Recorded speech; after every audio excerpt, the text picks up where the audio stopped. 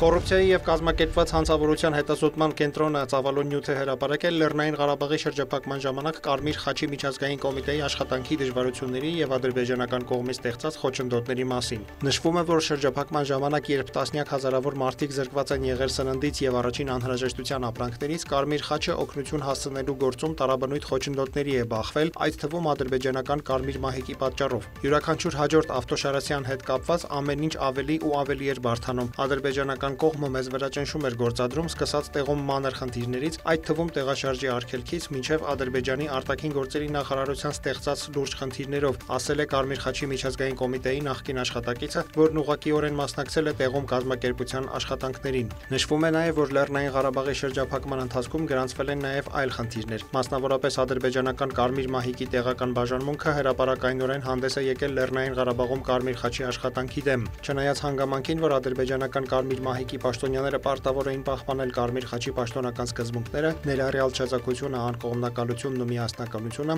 նրանք բազմիցս կրկնել են Ադրբեջանի կառավարության հայտարարությունները, հրապարակայնորեն կասկածի տակ են դրել Լեռնային Ղարաբաղի հայերի տառապանքները եւ Կարմիր խաչի առաքելության հեղինակությունը։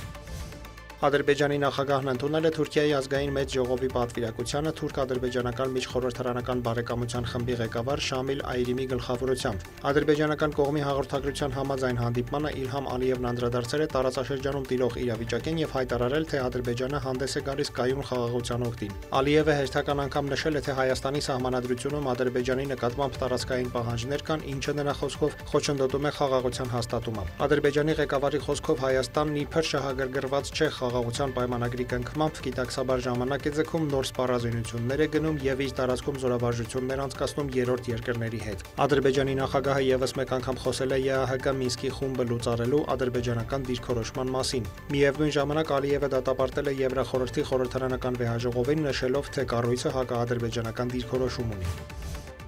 Մոսկվան ակնկալում է, որ Բաքվի եւ Երևանի միջև շուտով խաղաղություն կհաստատվի։ ՌԻԱ Նովոստիի հետ հարցազրույցում հայտարարել է Ադրբեջանում Ռուսաստանի դեսպան Միխայել Եվդոկիմովը։ Դատելով կողմերի պաշտոնական հայտարարություններից Ադրբեջանի եւ Հայաստանի միջև խաղաղության պայմանագրի նախագիծը գրեթե համաձայնեցված է։ Ինչպես ընդգծել է Ռուսաստանի նախագահ Վլադիմիր Պուտինը պետական այցի ընթացքում, Մոսկվան ուրախ կլիներ ներդրում ունենալ դրա ստորագրման գործում։ Հուսով եմ, որ դա տեղի կունենա որքան հնարավոր է շուտ, քանի որ դա կարևոր քայլ կլինի հարավային Կովկասում կայուն խաղաղության եւ բարգավաճման հասնելու համար, ասել է ռուս դիվանագետը։ Նրա խոսքով կողմերի միջև բանակցություններն ընթանում են Հայաստանի, Ռուսաստանի, Ադրբեջանի ղեկավարների 2020-ից 22 թվականների երրակողմ պայմանավորվածությունների հունով։ Եվդոկիմովը նշել է նաև, որ բացի խաղաղության պայմանագրից դրանք վերաբերում են տրանսպորտային հաղորդակցությունների ապաշրջափակմանը, սահմանազատման եւ սահմանագծման գործընթացին եւ քաղաքացիական հասարակությունների գծով շփումների հաստատմանը։ Ադրբեջանում Ռուսաստանի դեսպանն անդրադարձել է նաև Հայաստանի արտաքին քաղաքականությանը, նշելով, թե այն Մոսկվայում անհանգստություն է առաջացնում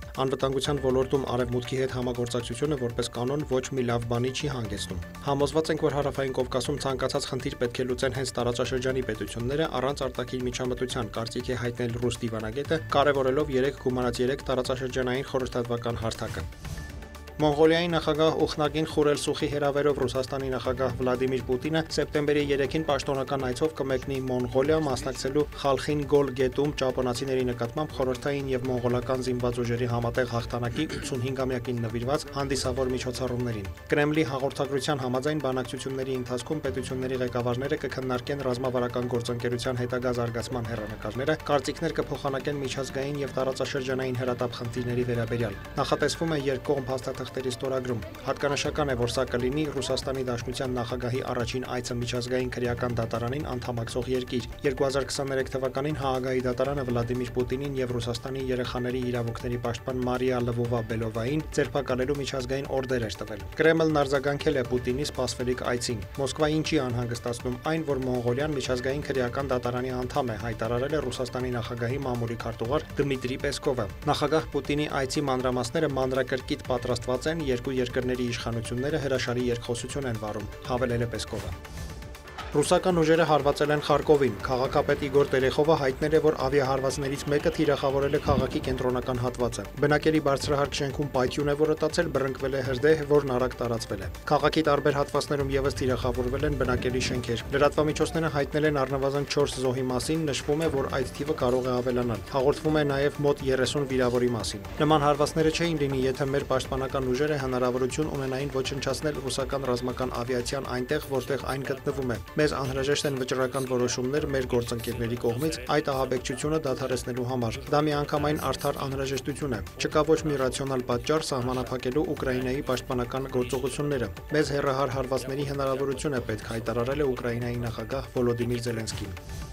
Ուկրաինայի զինված ուժերի գլխավոր հրամանատար Ալեքսանդր Սիրսկին հայտնել է, որ Ուկրաինայի ուժերը մեկ օրում եւս 2 կիլոմետր առաջ են շարժվել Կուրսկի մարզում։ Նա նշել է, որ Կուրսկի ուղությամբ հարձակողական գործողությունը շարունակվում է։ Նրա խոսքով ռուսական ուժերը փորձում են Պոկրովսկի ուղությամբ ճեղքել ուկրաինական զորքերի պաշտպանությունը, սակայն առայժմ բոլոր գրոհները հետ են մղվել։ Ռուսաստանի պաշտպանության նախարարությունից էլ հայտնել են, որ ավիացիայի եւ հրետանու աջակցությամբ այսօրվա ընթացքում հետ է մղվել ուկրաինական զինված ուժերի 5 հարձակում Կուրսկի մարզի 4 բնակավայրի ուղությամբ։ Դավիթ Մուրադյան լուրեր